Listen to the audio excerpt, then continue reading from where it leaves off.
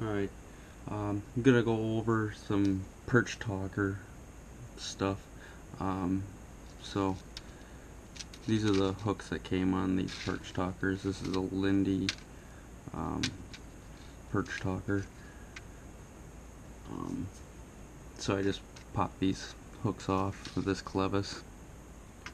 And I took the hook off of this ring, leaving the ring on.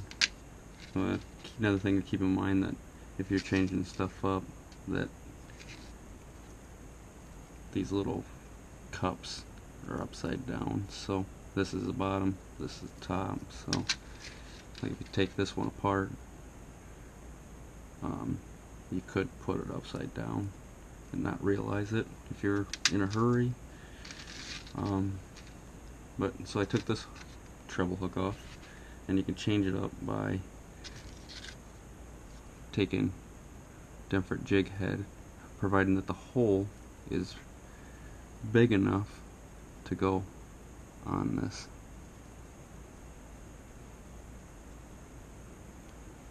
So I want to make sure you slide it down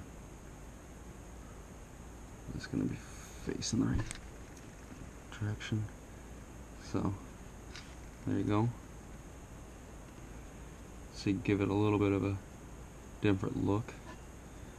And then this one didn't come with the drop chain, so I could pop this drop chain off of this one, or purchase a drop chain and put it on this one, or just, you know, you can keep a couple extra ones in your box. And then you just take it where that single wire is. You can hear it snap so then got one with the blue beads or chrome. Sorry, stuff's gonna roll around on me a little bit. But you guys get the idea. You can just providing that the jig head has a big enough hole in the hook, you can change your stuff out relatively fast. It's easier to do when your hands aren't frozen though. So take that back off and then just carefully pop this back on. And then you want to twist them, twist them, twist them a little bit, and they just pop.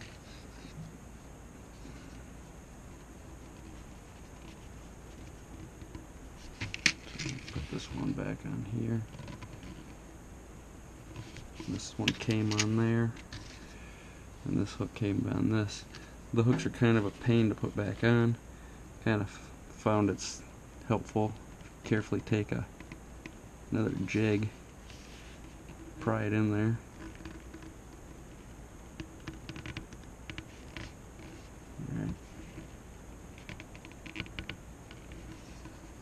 and then just roll it.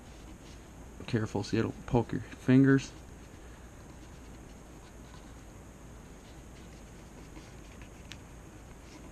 Slide that out of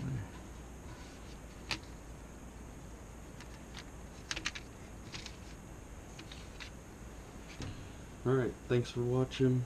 Like, comment, share, subscribe. Um,